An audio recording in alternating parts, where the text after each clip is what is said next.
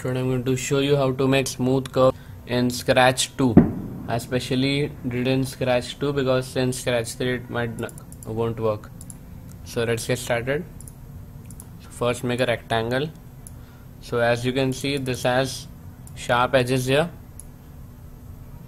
but if you add some border to it uh, using this then go to fill and if you fill directly it will make sharp edges more sharp. But if you take this it will work. Take the fourth tool in the fill one.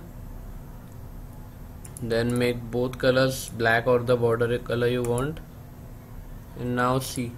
Now as you can see the edges are smooth and the corners also